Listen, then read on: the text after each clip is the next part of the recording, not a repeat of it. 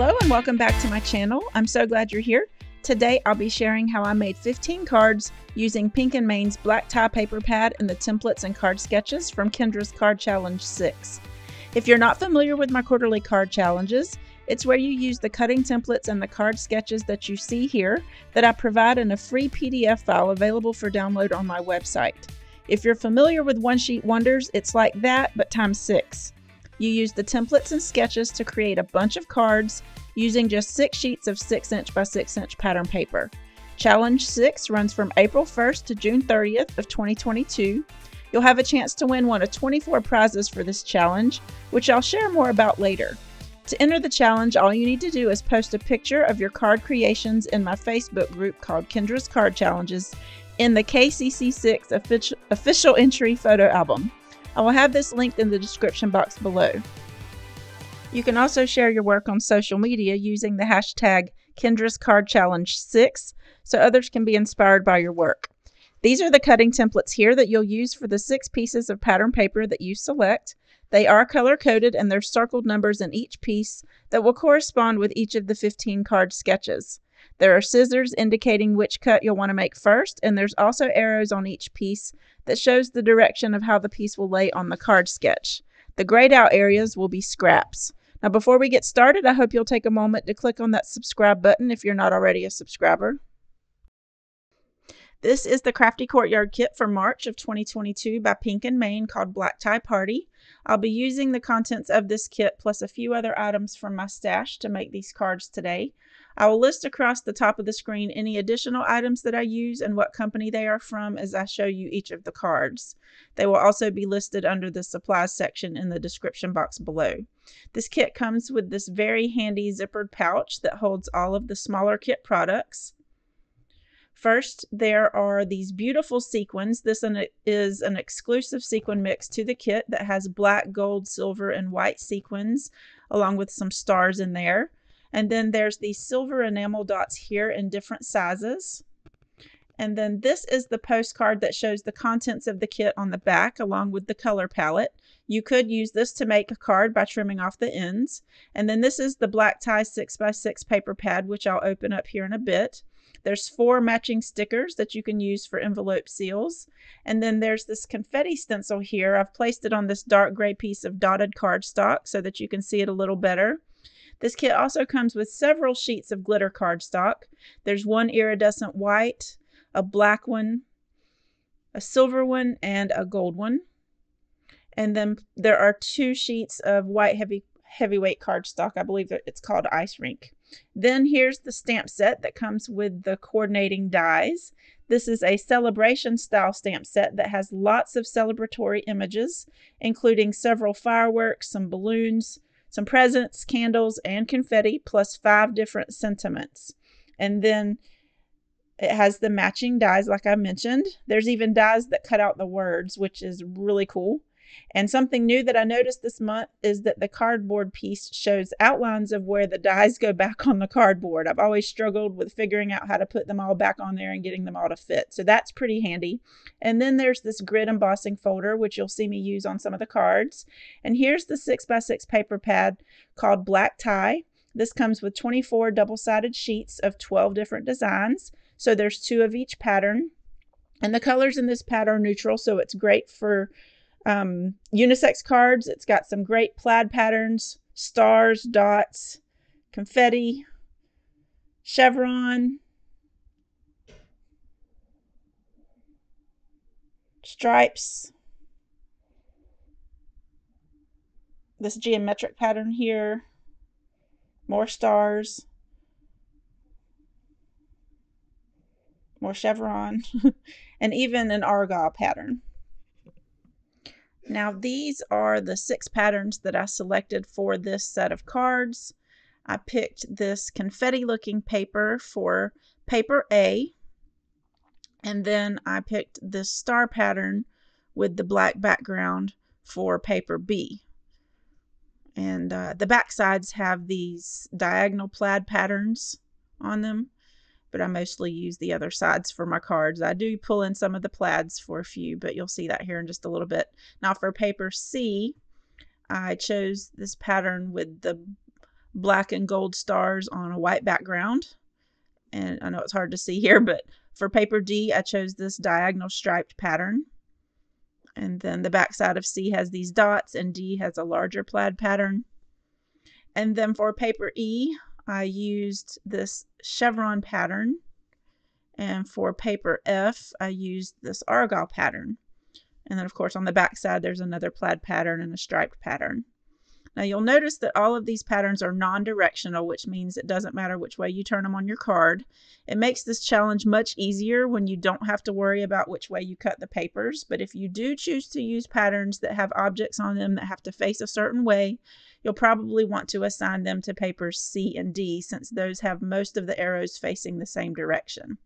Now, if you missed my Challenge 6 introduction video, I will link it here for you so that you can see detailed instructions on how to cut the papers.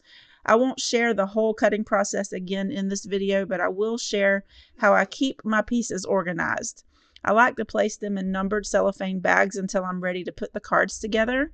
So after cutting each of the pieces, I'll go through each bag and cut mats for layers if the card sketch calls for a layer, and I'll also decide how I want to decorate them. So I've done all of that off camera. So now I'll show you the process of how I put these together and explain what I did with some of the features on each of the card sketches. This is card sketch number one. I will have the card sketch shown in the top right hand corner. This one has lots of layers. I glued the confetti pattern down to a black mat and then glued that on top of my A2 sized top folding white card base. This black pattern piece with the stars, I'm gluing on top of a piece of gold glitter cardstock. And I cut out a star from the middle of that for another card. This gets hidden behind the pattern paper and your recipient will never know. For the two quarter inch strips, I used gold glitter paper, but because of the layers, I needed to add some scrap strips to each end so that they would lay flat. So that's what I'm doing here. Now I like to use liquid glue when I put my cards together so that I can slide the pieces around if I need to. It gives me just a little bit of time to wiggle it around before it dries and it dries clear. So I've been trying out different types of liquid glue and I really like this Bearly Arts glue with the fine tip. It's quickly becoming one of my favorites. I also really like Nuvo Deluxe adhesive and art glitter glue, but I'm curious to know what's your favorite adhesive to use when making your cards? Let me know in the comments below.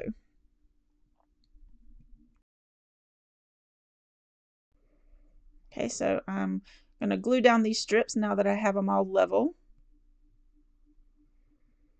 And then the sketch calls for a white piece on top of that rectangle piece, or basically a layered look, but I just decided to keep the rectangle piece just the gold glitter.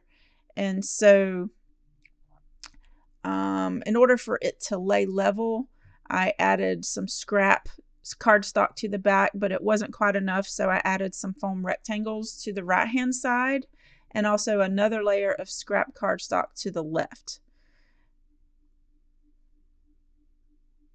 So here I'm just layering it up so that it's, it's pretty level because it's uh, those glitter strips kind of make it a little bit off whenever gluing it down. And I don't want it, I don't want it to show the ridges. So added a little bit more glue under there. And so now I am using one of the fireworks that came in the stamp set and I'm going to glue that onto the left hand side of that gold glitter piece and I've added some foam tape to the back and then I glued down the Make-A-Wish sentiment and I added three gold pearls in the top right hand corner. This is card sketch number two. I embossed a white panel using the grid embossing folder and I glued this onto a black top folding A2 card base. I used the black glitter cardstock and added double-sided adhesive tape from scrapbook.com onto the back side before cutting out the letters for grad using some alphabet dies by Concord and Ninth. Now this is covered up by the confetti piece and I glued this down on the left hand side of the card base. And now for the big circle element shown on the sketch, I used several layers here. I cut out the largest circle with some nesting circle dies and I cut out a smaller circle for another card from the inside of the black piece to conserve supplies. And then I glued a smaller gold glitter circle on top and added a scalloped circle on top of that which I used a two and three quarter inch punch for. And I stamped the word hooray from a previous Crafty Courtyard kit and then added the glitter die cuts below that. And pretty much this finishes up card number two.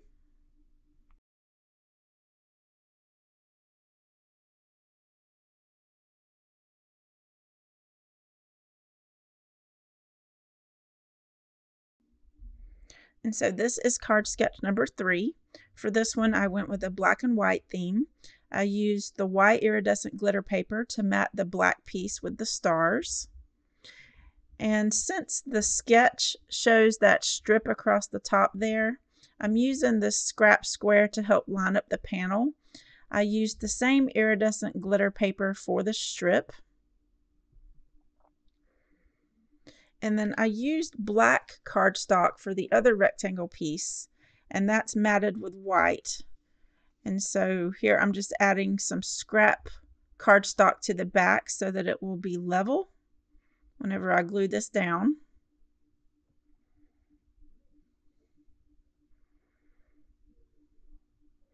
And then I also added a smaller strip of cardstock to the back of the iridescent strip to make it level also. Now off camera, I cut out the same letters from that Concord and Ninth alphabet set to spell out grad. And I used some white cardstock for that.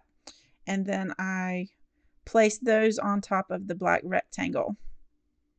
Here I'm just making sure that I have this in the right spot. I had to cut off a piece of that scrap that I glued to the back of that. But after adding the letters to finish off the card, I added a sentiment strip that says, So proud of you above that, and then added some black rhinestones to the right hand side of the white glitter strip. And this finishes up card number three.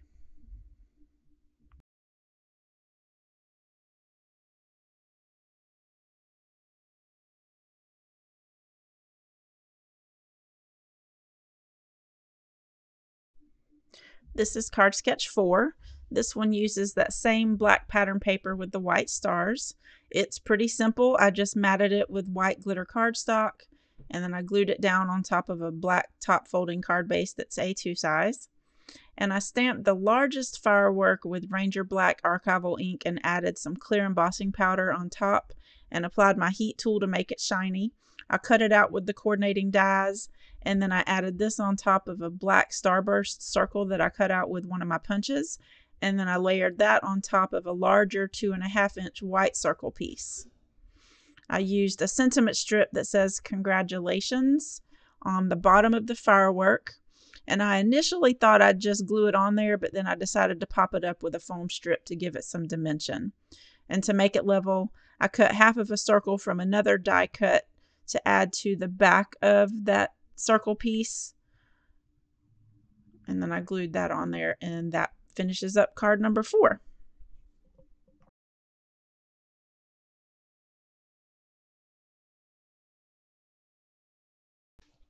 Now this is card sketch number five. I cut a smaller white panel to be four by five and a quarter inches and I ran this through a chevron embossing folder in my die cutting machine. This embossing folder came in another Pink and Main Crafty Courtyard kit but what's great about these kits is that a lot of the components will mix and match with pattern papers from other kits. So since my pattern for this card was chevron, I thought I'd make use of it. I glued that onto a white top folding A2 size card base, and then I glued the star pattern piece onto a plain black layer. Now for the chevron piece, I cut the map first, and then I cut the fishtail banner. And I tried to cut the fishtail banner from my layer also, and this was a little tricky, so I tried my best to get it even. And then next I used a black rectangle to layer up the two bottom fishtail banner pieces. For the one on the far left, I used black glitter paper for that banner. Now, if you have any half inch scraps of pattern paper, you can use that instead or just any matching colored cardstock.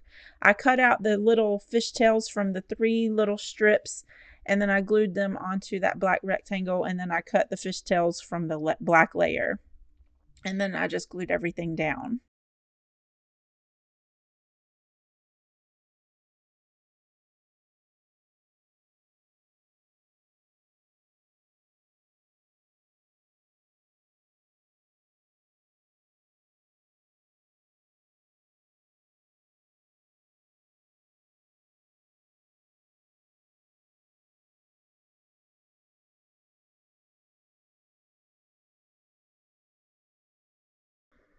So notice how I used the scrap pieces of the fishtail banner that I cut off. I used that to help make this level.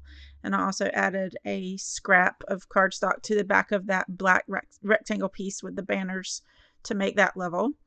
And then I heat embossed the word congratulations using some black Ranger Archival ink and clear embossing powder to give the sentiment some shine. And then I added that on top of the chevron piece.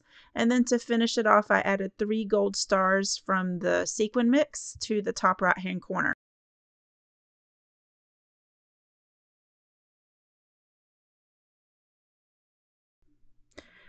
This is card sketch number six. For this one, I used my gold foil from my stash to use as the back panel. The card sketch calls for a striped back panel, so I'm using my scoreboard to score it every quarter inch. It made it kind of curl up a bit, so I had to bend it back to try to flatten it out. But I layered the star piece with regular black cardstock, and I glued that down in the center. And then I used a three quarter inch strip of gold foil cardstock and I layered that on a one inch strip of black cardstock. And I used that for the centerpiece there in the middle. Again, I added some scraps to the back of the black strip to make it level. And then I glued a sentiment strip on top of that that says, Celebrate all that's good today and every day and I used a word and shadow die from Honeybee Stamps to cut out the word congratulations from black cardstock, and I glued that onto the gold foil shadow die cut. So when using glue on foil, you have to be super careful to not have it seep out too much or it will look smeared on the foil. So I recommend using double-sided adhesive for this instead, which is what I should have done. But this finishes off card number six.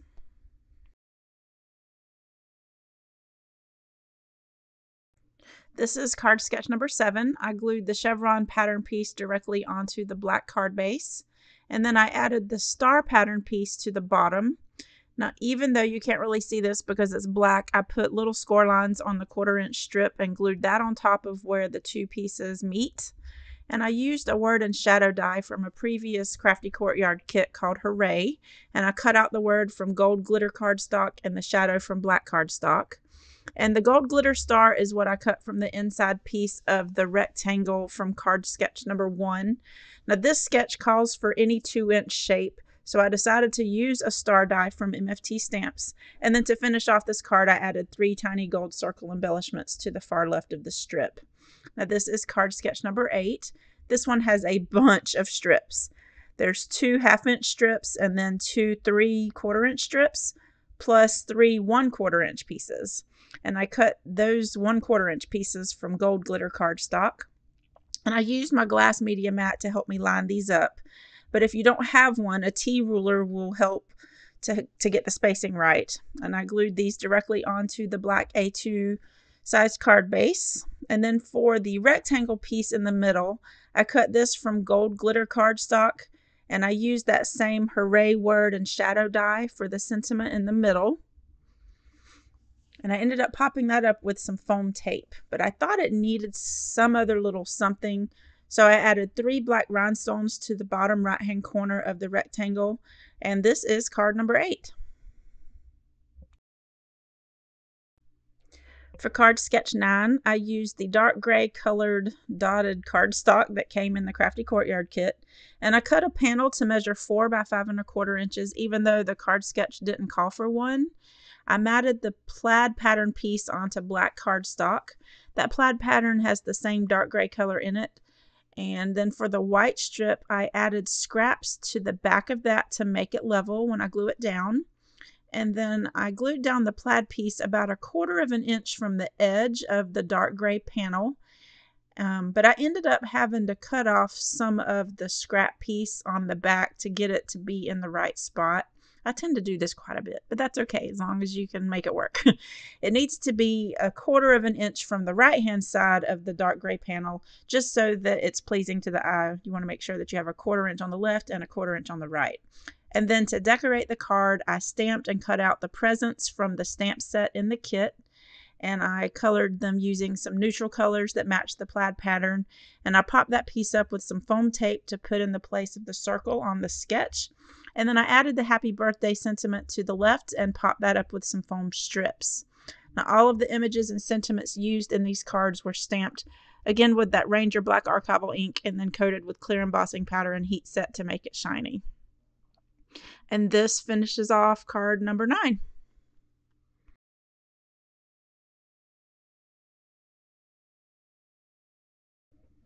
This is card sketch number 10. These pieces go all the way to the edge of the card base. So I glued the diagonal stripe piece down to the top and then I glued the argyle pattern to the bottom. And then I added a black one quarter inch strip on top of where the patterns meet. And then I used a gold foil quarter inch strip for the vertical one that goes the other way. And I punched out a black starburst circle and added some foam tape to the back of that to give it some dimension and I'll be placing this where those two strips meet up. And again, I used the Hooray word and shadow die, but this time using black for the word and gold foil for the shadow. And I used the champagne bottle and glass stamp image that I colored with a metallic gold gel pen and some Copic markers off camera. And then I glued that onto the starburst circle. And then I added a sentiment strip that said you did it, and this finishes off card number 10. For card sketch 11, I used the gray dotted paper for the back panel piece. This sketch calls for specialty paper, whether it be foil or textured paper, holographic, an embossed panel or something stenciled, but I decided to go with textured for this card since I'd already used foil and glitter for many of the other cards. But I glued the panel onto an A2 size black top folding card base and then I glued the pattern piece, pieces down directly onto the panel in the center. And I added a sentiment strip to the center part of the bottom piece that says, let the celebration begin. And then I used the balloons from that stamp set that I colored with gray and cream colored Copic markers off camera. And I glued those to the center and then added some Morning Dew Nuvo crystal drops to the highlighted area to make it shiny. And this is card number 11. This is card sketch 12. I used a white card base and glued down a black panel that measures four by five and a quarter inches. And I added the chevron pattern piece across the top, leaving about a quarter of an inch from the top. Now for the decorative strips that the card sketch calls for, I decided to use some border dies from Whimsy Stamps since they are the chevron pattern, and I cut two of these from gold foil cardstock and I added those to the bottom. Now for the sentiment at the top, I used the word and shadow die set from Kat Scrappiness that says proud proud of you and I cut the word from gold foil cardstock and black cardstock for the shadow and I glued that to the top panel and this is card number 12. For card sketch 13 I used a black card base and a white rectangle panel that I matted with silver glitter cardstock. I cut out letters to spell grad from another alphabet die set that I had in my stash, and I went ahead and glued that onto that rectangle piece, and I stamped the word hooray above it, and that's from that Crafty Courtyard kit from before. I glued the argyle pattern strip directly on the bottom of the card base, and then I added the rectangle piece in the center. And again, I had added some scrap cardstock to the back to make it level. Now this sketch calls for four fishtail banners. And so I tried to use this banner punch to make this process go faster. It worked for the longer piece, but the other cardstock strips were too short. They kept falling out. And so I ended up having to cut those using my scissors. I didn't have an end to hold on to, and in order to make it stay in the right spot, it needed to be a little bit longer. But I ended up flipping that last banner over since the confetti side was white and it was blending in with the white panel and I really like how the, the polka dots looked anyway. And then to finish off this card, I added three black rhinestones and that finishes off card number 13.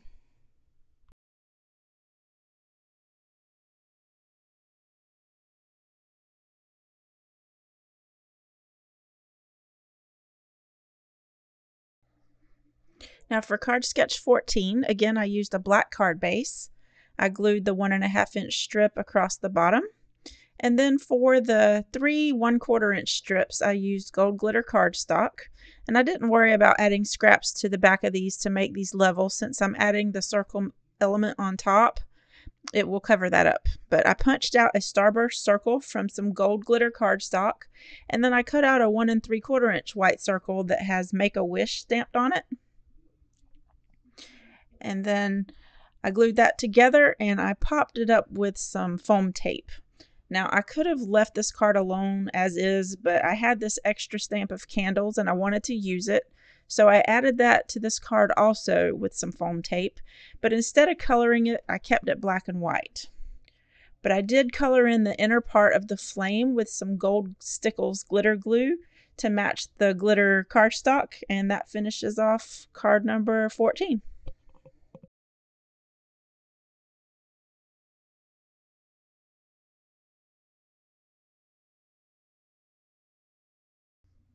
And finally, card sketch number 15.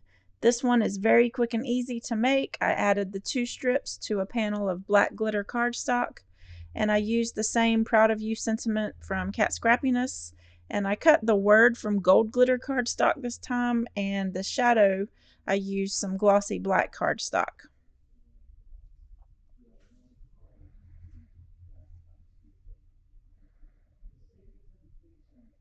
And that finishes up card number 15.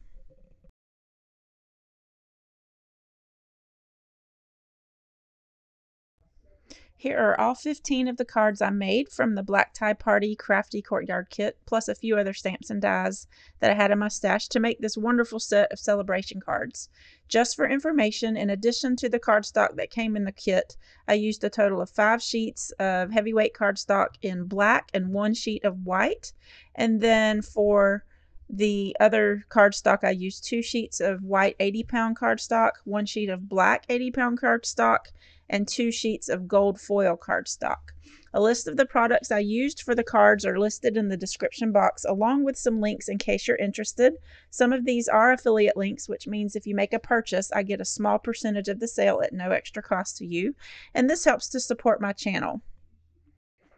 As I mentioned at the beginning of this video, you can win prizes for entering the challenge. There are six amazing prizes from our company sponsors. The sponsors are Kat Scrappiness, not Too Shabby Shop, Pink and Main. This calls for confetti. TLC Designs and Whimsy Stamps. Plus, there are several additional prizes. You can see the full list of prizes on my website at cardsbykendra.com or on the Facebook group Kendra's Card Challenges. And you don't have to use any particular company's products to enter this challenge. You can use what you have in your stash. If you want to join in, you can download the free PDF file on my website at cardsbykendra.com. I'll also link it in the description box down below. This challenge is open to card makers worldwide, and you have until June 30th of 2022 to create your cards and post them in the Facebook group. Plus, if you have a YouTube channel and you post a video of your creations there, you'll get an extra entry into the contest. Now I want to introduce you to a brand new membership program that I'm now offering to my channel viewers that helps to support my card challenges, where you can receive membership perks depending on the tier you choose, starting at just $5 a month. All patrons receive a handmade card made by me each month, a printer friendly version of the PDF file, plus a shout out on all of my challenge videos. All access patrons receive everything already mentioned, plus early access to my card challenges and bonus free printables. This includes some additional one sheet wonder templates that I'll be releasing soon for 8.5 by 11 size paper and 12 by 12 inch paper. This tier is $10 per month. And the VIP patron membership level includes everything I just mentioned, plus a card making kit each quarter that includes six sheets of 6x6 pattern paper, cardstock, die cuts, and embellishments. Pretty much everything you need to make cards, with the exception of adhesive and cutting tools, plus a color printout of the current quarterly card challenge. It also includes a quarterly live stream session with me for VIP members only. I want to thank my channel patrons so far. My official patrons are Diane Irene Wolfsbauer, Ria Kieboom, and Catherine Wingfield Yeats. I'm sorry if I'm mispronouncing your names. My all access patrons are Penny Kreitz, Kim McKenzie, and Mary George. I can't thank you enough for your support.